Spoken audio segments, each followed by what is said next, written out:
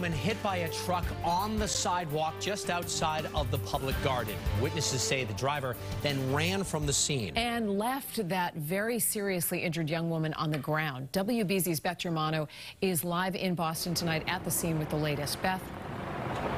Well, what we are hearing from witnesses is absolutely horrific. The sound of screeching tires and a young woman right in the path of that black pickup truck that you see behind me. Witnesses say the truck jumped the curb and struck the metal gate at the public garden.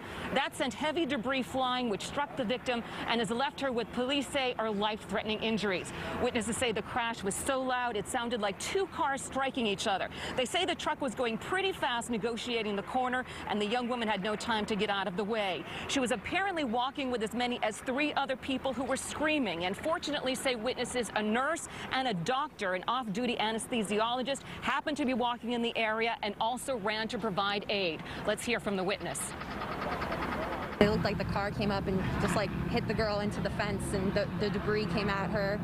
Um, there was already a nurse on scene, so instead of like doing that, I just was clearing out the scene and it seemed like the girl's sister was in shock.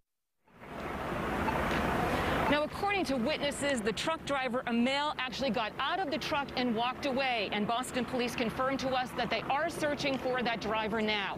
But again, a young woman with life-threatening injuries, seriously injured when that truck jumped the curb trying to negotiate that corner. We'll have the latest you coming up tonight at 11.